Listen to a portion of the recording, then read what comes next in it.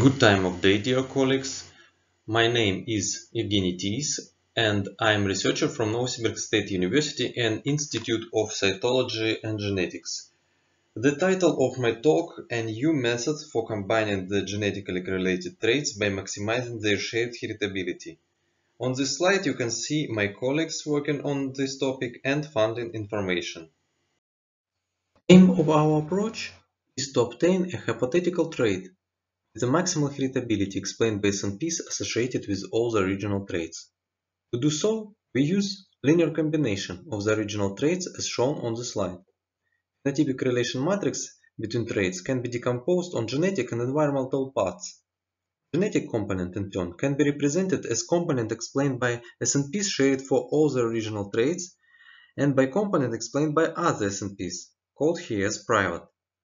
To find shared heredity, we minimize off-diagonal elements of private component and find linear combination coefficient giving maximal heritability. Next step of our study were simulations. We went over different parameters of arbitrary matrices and check applicability of the method to find shared heredity. The next step was real data assessment. We take three sets of correlated phenotypic traits to find shared heredity. The first one contains anthropometric traits related to obesity such as BMI and whole body fat mass. The second set is mental disorders such as bipolar disorder, schizophrenia, and low level of happiness.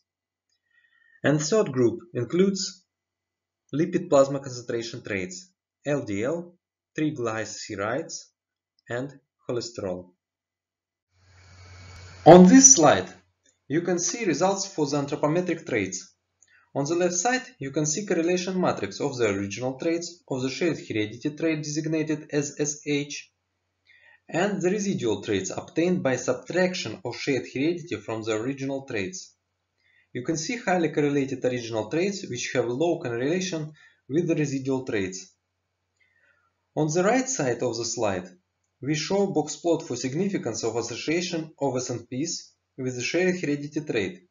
X-axis show the number of original traits for which considered SNP is significant. We can see the higher significance of SNP for shared heredity trait, the stronger its association with all the original traits.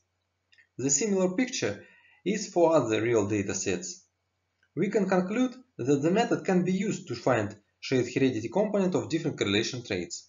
Thank you for your attention.